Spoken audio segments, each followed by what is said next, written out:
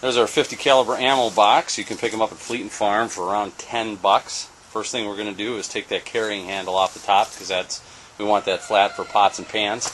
And then we're going to take the uh, rubber insert out on the inside. The. Blue whale. Blue whale. I knew that one.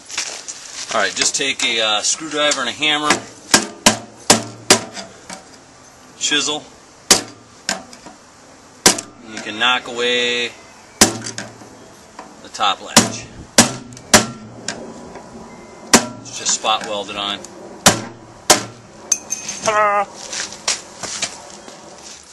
Once your handle's off, take this out and just take a screwdriver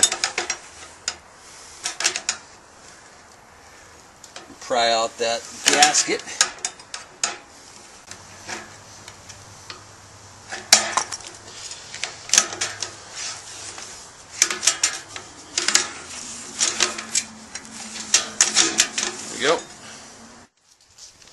Once you take that gasket out, you're going to lose the tightness of the lid. And to remedy that, you just pound down on this section where the latch hooks onto the lid. There's the, the, the uh, lid itself. Just take a hammer and pound down here. And that'll tighten things up again. This part's pretty straightforward. I, I don't even really measure. I just kind of square off an opening, you know, uh, to load your fuel into.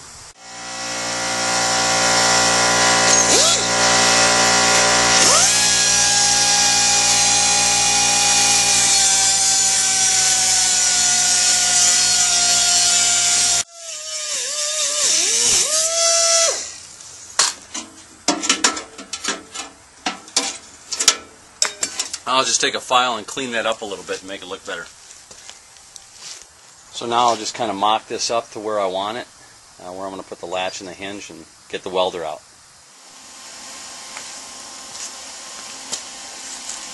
First I just tack it in.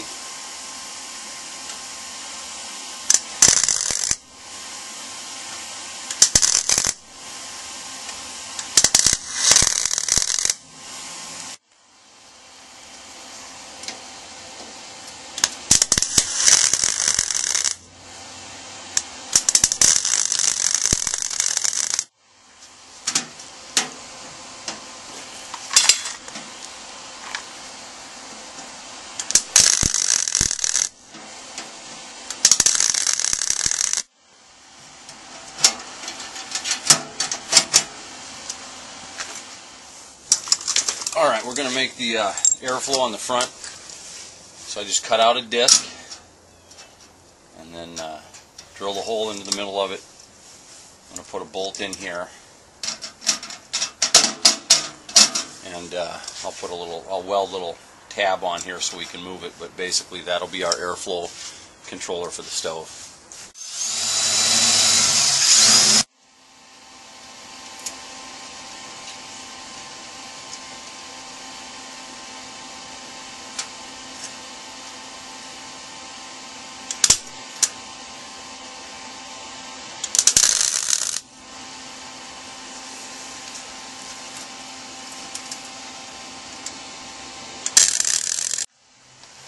That pretty much finishes up the door.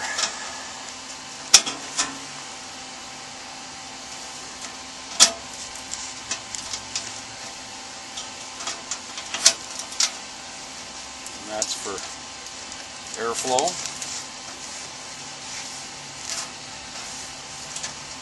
I can open it completely up.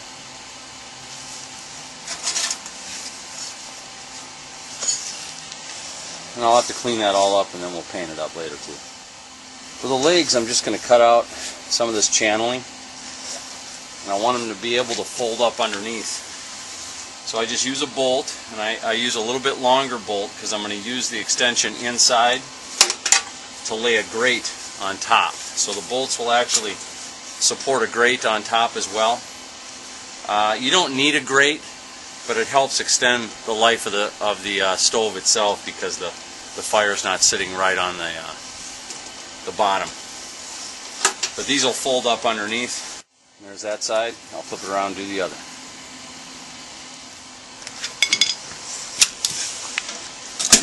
There's the legs. And they can fold up underneath. So when you're carrying it, on the inside that'll support the grate I was talking about. You can see how they extended out. Some three inch pipe here from uh, Fleet and Farm and I'm going to roll a uh, fitting on top. Eventually I'll get that rolled on. I'm using a uh, just a three inch drain as a mold and the pipe will fit over this once I get it uh, welded on there and cut through. Alright. So I got this uh, rolled out, so I got the basic form of three inches. And then I cut it a little short. And now I'm going to uh,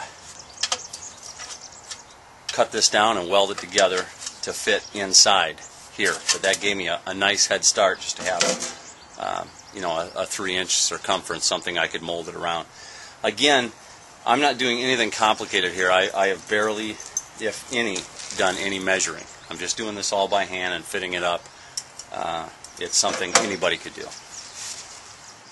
And there we go. Got it fit right in there. Now I'll just clamp it and weld it up at that seam. Okay, I've got the hole cut in top.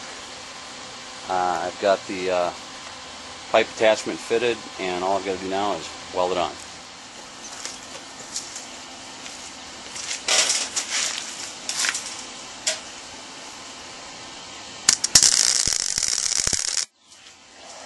Alright.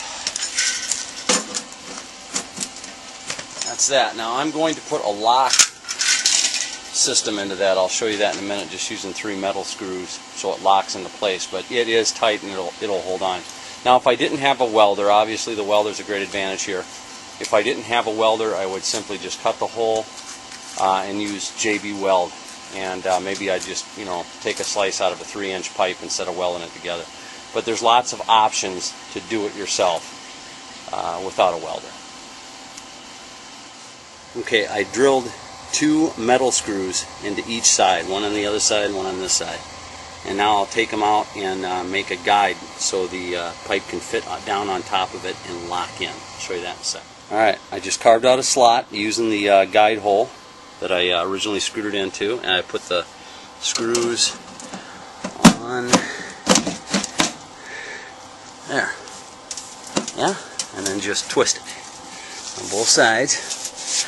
Just like factory, man. Just like factory. These do come apart so you could flatten these out to fit in the back of your pack, but I recommend, you know, knocking off the corners so they don't stick through anything.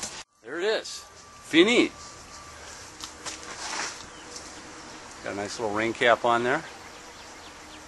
Nine feet of pipe. I think we got to fire it up. There's a shot of the inside, and like I was saying, it's nice to have the grate in there. It extends the life of uh, the stove itself. But another thing you can use it for, pick up couple extra tent stakes or just a steel dowel. Cut it into two sections. Put it on the side. This thing can double as a portable grill. You can operate it, of course, outside the tent, maybe for some grilled squirrel sandwiches. Uh, but it's nice little, uh, nice little feature. And there's a lip on the lid, so it covers up the holes when the uh, stove is in operation. You don't have to worry about it leaking smoke. Nice, huh? All right. I got my tactical torch from tactical.com. Always carry this when I'm camping. Tactical. Tactical. Tactical makes everything better. Tactical. More expensive, more better. Tactical. Tactical stove. Tactical torch. I'm tactical. I'm super tactical. Alright, there we go. See? That's a tactical fire. Now listen, if you want to make a donation or you want to pay me, I will train you how to say tactical. Tactical fire.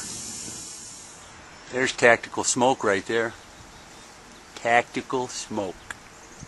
Alright, like any stove, even one that you buy online from some famous store and pay a lot of money for, you want to light it up and fire it real hard before you ever use it, especially inside of a tent. Uh, take it out and just let it burn. Let it burn the oil off the pipes and the stove and whatever residues are on there. So give it a good hard fire before you ever use it. And you know it's done curing or burning all that off when there is no more smoke coming off it. And then still give it another 20 minutes or 30 minutes.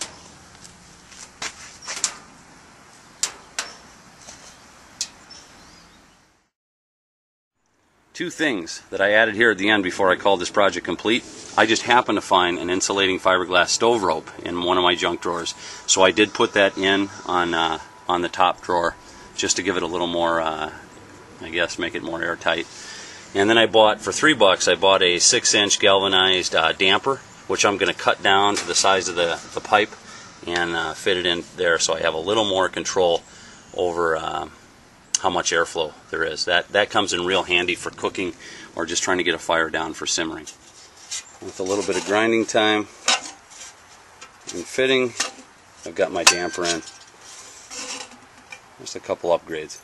I'm pretty happy with uh, the end result. I ended up with a packable stove for around 10 pounds. And it cost me somewhere, I didn't, I didn't keep real strict uh, tabs on it, but it cost me somewhere between uh, probably 70 and 80 bucks.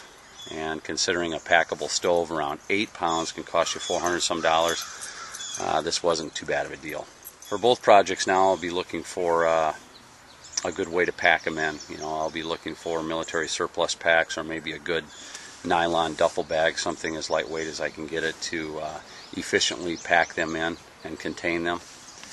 Um, and then, of course, I'll be looking forward to a cold night if we get another one to test it out with. And the reason why I went to this, uh, truly, you know, when I winter camp, I usually don't bring a tent. Uh, weight is is uh, you know a careful, considered commodity when you're when you're uh, hiking long distance in the winter. And uh, I've just never considered taking a tent or or hot tenting it in. But with the kids now and wanting them to experience some of these things, um, I want a, a, shelter that's packable and the ability to uh, keep the tent warm as well.